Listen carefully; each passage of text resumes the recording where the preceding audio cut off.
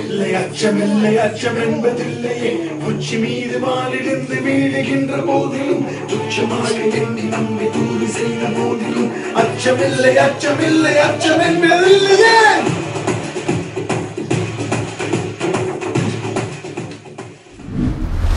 Fear I have not, fear I have not.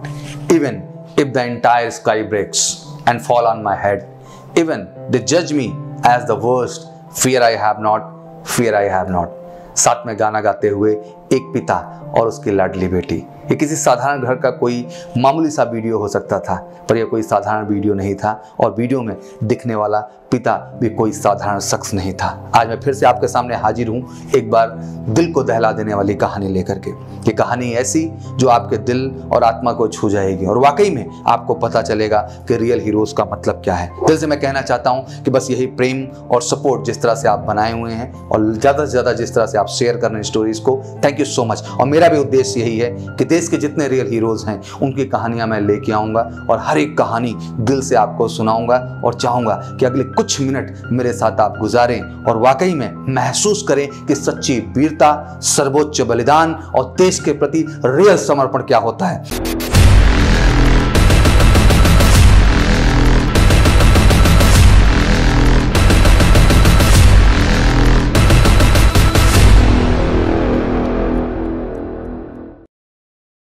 तो कहानी है 12 अप्रैल 2014 सुबह सुबह व्हाट्सएप पर एक मैसेज आता है।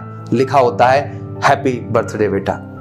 जॉब में, हमेशा एक फौजी का मैसेज आता है थैंक यू और मैं सामने बात करता हूँ। उस दिन भी बात पिता से कम और माँ से ज़्यादा हुई।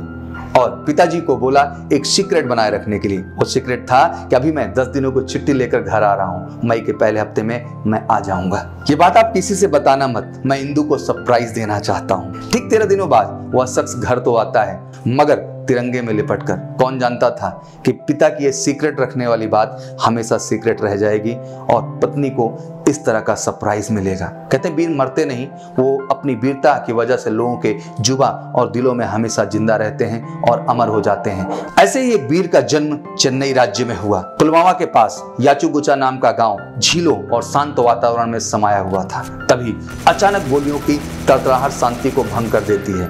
इंडियन आर्मी पर गोलियाँ बरसाता हुआ आतंकी कहीं छिपने की जगह ढूंढ रहा था। यह आतंकी जैसे मोहम्मद का कमांडर अल्ताफ बाबा था। सेबो की बाग में छिपा बाबा आज उसका अंत उसको नज़र आ रहा था। इसी से बचने के लिए वो इंडियन आर्मी पर लगातार गोलियाँ बरसा रहा था। तभी उसे एहसास हुआ, मौत और उसके बीच का फासला बस एक मैगजीन का था। वो अपनी आखिरी मैगजीन को भी लोड करता है और फायर करते हुए अपनी गोलियाँ गिरने लगता है। लेकिन ऐसा करने वाला वह इकलौता नहीं था। AK 47 की एक मैगजीन में seven point six two M M की 30 गोलियाँ आती हैं। और बाबा के साथ वहाँ मौजूद इंडियन आर्मी का मेजर भी फायर हो रही गोलियों को गिन रहा होता है। खत्म होती, गोली के साथ अल्ताफ बाबा अपनी राइफल को मैनुअल मोड में डाल देता है। एक एक फायर होती गोली को मेजर भी गिन रहे होते हैं। और जैसे ही आखिरी गोली चलती है, बिजली से भी तेज़ी के साथ साढ़े छह फुट का यह मेजर बाग की तरफ़ दौड़ना शुरू कर देता है और बोलता है, sir we have got Altaf Baba.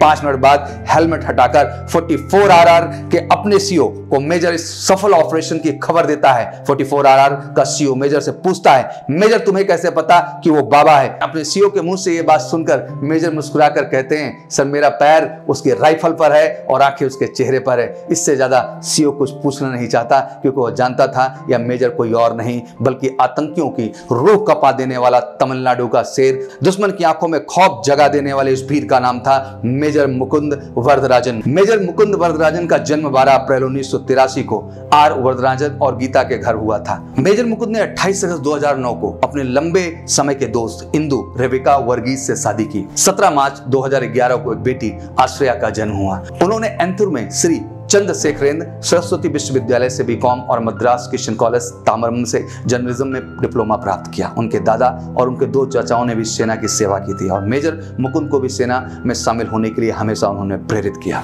Major Mukund OT के छात्र थे और उन्हें 2006 में राजपूत रेजिमेंट 22 राजपूत में लेफ्टिनेंट के रूप में कमीशन दिया गया था। उन्होंने मध्य प्रदेश के माहो में इन्फेंट्री स्कूल में सेवा की और लेबनान में संयुक्त राष्ट्र मिशन का भी हिस्सा रहे। दिसंबर 2012 में उन्हें राष्ट्रीय राइफल्स की 44वीं बटालियन में पोस्ट किया गया और जम्मू कश्मीर के सोपिया ज़िले में तैनात किया गया। अल्ताफ बाबा के इनकाउंटर के बाद मेजर मुकुंद घाटी में सेलिब्रिटी बन जाते हैं। सब इनकी गोलियाँ गिनने वाली तकनीक को सुनकर हैरान होते थे।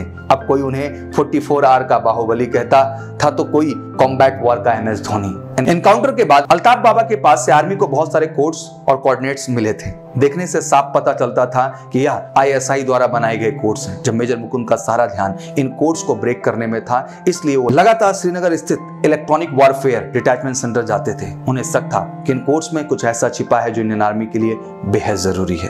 तीन महीने के बाद उनका यह शक सच साबित हो जाता है, जब उन्हें इन कोर्स का पता चलता है। इन कोर्स में सोपिया के पास काजी पथरी गाँव का नक्शा था। इन नक्शों में उन घरों की सटीक जानकारी दी हुई थी, जिनका इस्तेमाल सीमा पार से आए आतंकियों को शरण देने के लिए किया जा रहा था। सारी मिली हुई जानकारी मेजर मुकुंद अपने सीओ अमित सिंह दबास को बता देते हैं। 44 आरआर द्वारा इन घरों को सर्विलांस पर रखे हुए सात महीने बीत चुके थे और अब तक कुछ भी हाथ नहीं लगा था। फिर आता है वो दिन 25 अप्रैल 2014 सुबह सुबह मेजर मुकुंद को इनपुट मिलती है कि काजी पथरी के उन्हीं घरों में एक हार्डकोर आतंकवादी को देखा गया है। यह आतंकी और कोई नहीं, बल्कि जैसे मोहम्मद का नया कमांडर अल्ताफ वानी था।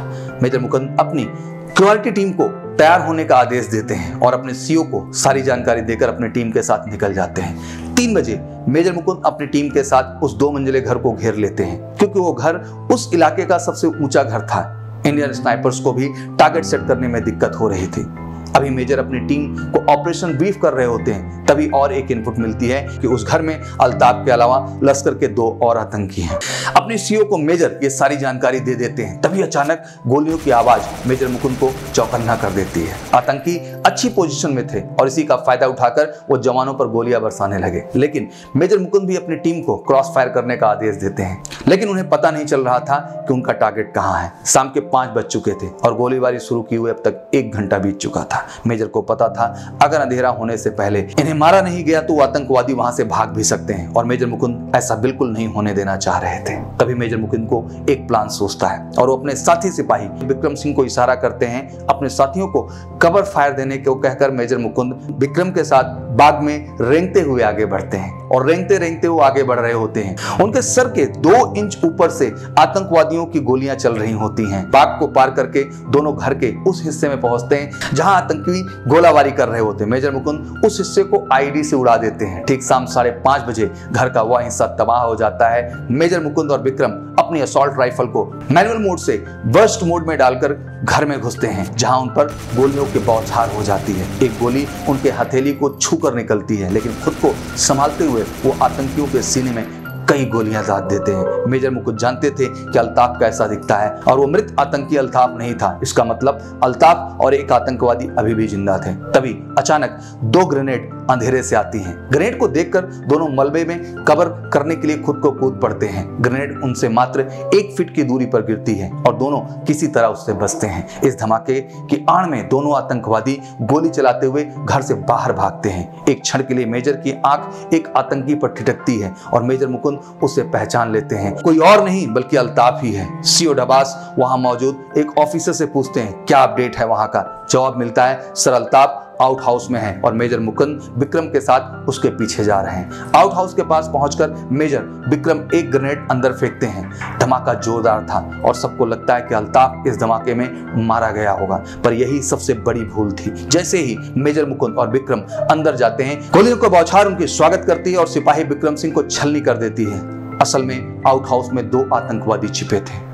हुआ यूँ था कि आउट हाउस से अल्ताफ के साथ तीसरा आतंकी भी भागा था और उसे कोई देख ना पाया। और वो तीसरा आतंकी अभी ग्रेनेड के धमाके से मारा गया था मतलब अल्ताफ अभी भी ज़िंदा था। विक्रम सिंह को दो गोलियाँ लगी थी, एक उनकी गर्दन के आर पार हो गई थी और दूसरी गोली उनके जबड़े में घुस गई। गर्दन से पार हुई एक बंदूक की गोली आमतौर पर निश्चित मौत का कारण बनती है। मेजर मुकुंद जानते थे कि वो अपनी टीम के सबसे साहसी और भरोसेमंद सैनिक में से एक को खोने वाले हैं। मेजर मुकुंद जानते थे कि इन कॉम्बैट्स में भावना या शोक प्रकट करने का कोई क्षण नहीं होता है। एक पल के लिए भी बिना रुके मेजर वरदराजन अपने ए के से साथ आगे बढ़ते हैं और अल्ताफ पानी पर ताबड़तोड़ गोलियों के बौछार कर देते हैं, जिससे उसकी तुरंत मौत हो जाती है। बाहर निकलकर एक ऑफिसर को मेजर मुकुंद अल्ताफ की डेड बॉडी को चेक करने के लिए कहते हैं। वह ऑफिसर थोड़ा सहम सा जाता है। वह घबरा कर कहता है, सर, आपको गोलियाँ लगी हैं। मेजर मुकुंद जब अपनी गर्दन झुकाकर देखते हैं, तब उन्हें पता चलता है कि उनके पेट में तीन गोलियाँ लगी हैं और भारी मात्रा में खून बह रहा है।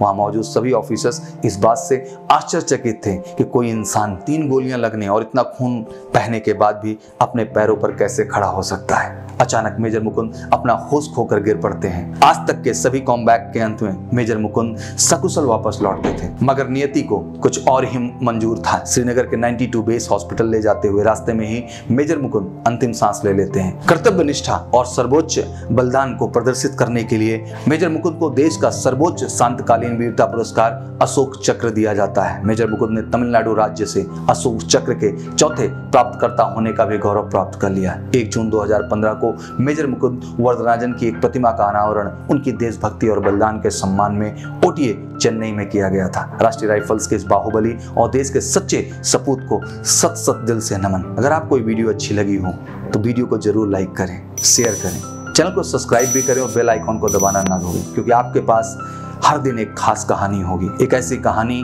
जो आपके दिल को छू जाएगी, एक ऐसी कहानी जो आपको प्रेरणा देगी कि आखिर इस देश के लिए हमारे अंदर कितना गर्व है और देशवासी होने पर हमें कितना गर्व है। और वाकई में अगर ये गर्व है तो केवल इन वीर शहादतों की वजह से है। मैं कहना चाहता हूँ दिल से कि ये ज़रूरी है कि इस कारवा को हम सब मिल के आगे बढ़ाएँ। आई थिंक बहुत सारी कहानियाँ आप सुनते हैं और शेयर करते हैं बट कुछ ऐसी कहानियों को कहना और शेयर करना ज़रूरी है जो वाकई में देश के अंदर एक अलग प्रेरणा जगा सकती है। मुझे लगता है कि देश की युवा को ये बहुत ज़रूरी है। डिफेंस एस्पिरेंट नहीं, मुझे लगता हर व्यक्ति के लिए ज़रूरी है बट मुझे लगता है कि अगर आप डिफेंस एस्पिरेंट हैं तो केवल एक कहानी नहीं है। एक आपके सामने सच्चाई है जो आती है। और इस सच्चाई को अगर आप महसूस करते हैं तो मुझे लगता है बेटा, आप अपनी ज़िम्मेदारी का एहसास करके दुगनी शक्ति से अपने एफर्ट्स को बढ़ाएँगे और उस लक्ष्य को पाके दिखाएँगे जो आप पाना चाहते हैं। तो ऐसे ही और वीर गाथा को सुनना है, समझना है तो प्लीज़ कमेंट बॉक्स में ज़रूर आइए। जो दिल में आपके हो, प्लीज़ कहिए, मैं आपके दिल की हर बात सुनना चाहता हूँ। और मैंने कहा कि बार बार ज़्यादा से ज़्यादा शेयर करिए, क्योंकि सच्ची रियल हीरोज़ की कहानी को दूर तक पहुँचाना मुझे लगता है कि इनको सच्ची श्रद्धांजलि देने के बराबर है। तो मिलते हैं ऐसे ही एक और वीर सपूत की अगली कहानी के साथ। Thank you so much wish you good luck जय हिंद, जय भारत।